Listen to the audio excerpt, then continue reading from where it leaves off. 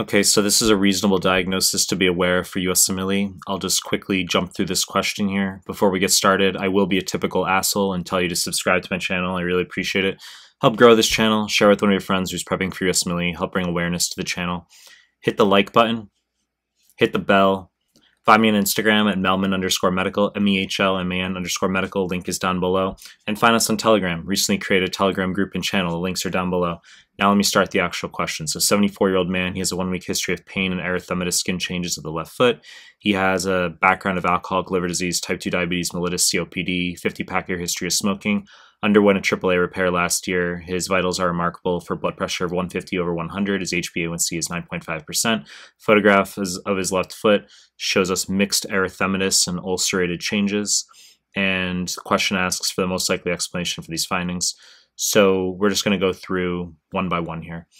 Choice A, defective diapedesis of leukocytes. Wrong answer. Okay, so this is a this is a reasonable answer, but it's wrong. Okay, so uh, this refers to the decreased wound healing in diabetes secondary to non-enzymatic glycosylation of vascular endothelium. So this goes hand in hand with choice B, which is also the wrong answer, diminution of joint sensation. So essentially what happens is in diabetes, you have peripheral neuropathy, right? So glucose enters your myelin sheaths, glucose via aldose reductase converted to sorbitol, sorbitol osmotic pull will cause myelinopathy, peripheral neuropathy, decreased sensation, okay? So uh, diabetics often can't feel their feet they'll incur uh, trauma.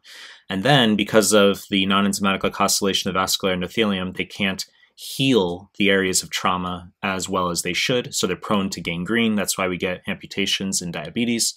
And then the diminu- diminution of joint sensation refers to Charcot joints. Uh, this will be the answer on USMLE if they tell you disorganization of the tarsal bones. Okay, so this is from pressure. Uh, we don't think about it. we don't think about it. However, we will shift constantly shift our weight to avoid too much pressure on one area. So, because of the impaired joint sensation in diabetes, uh, they're prone to Charcot joints. Okay, so diminution of joint sensation. Um, but nevertheless, A and B are wrong here. I'll explain why. Because this is embolic disease. This is cholesterol emboli. The history of AAA repair in combination with this image is something you need to know for USMLE. The atherosclerotic plaque of the abdominal aorta can launch off uh, cholesterol crystals to the phalanges, okay, and result in livedo reticularis type appearance or ulcerated changes, erythematous changes of the feet. The cholesterol emboli need not occur intraoperatively. They can merely occur in a patient who has a history of AAA repair. This is what I've seen on the NBME exam. Okay, it's it's this detail about the AAA repair plus this image that makes choice C the best answer. Okay, as I said, A and B aren't bad answers. Uh, we're not getting abnormal joint. Uh, we're not getting abnormal joint sensation resulting in um, disorganization of the tarsal bones. That's why B was wrong.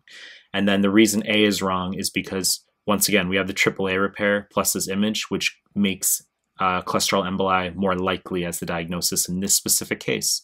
So, choice D, hepatocutaneous syndrome, this is the wrong fucking answer. This is actually a trolling answer. Uh, if you Google this, you're actually going to get images of cats and dogs Okay, as far as I'm aware, this isn't even anything that uh, is in humans. Okay, so choice E, thromboangiitis obliterans, also known as Buerger disease, B U E R G E R.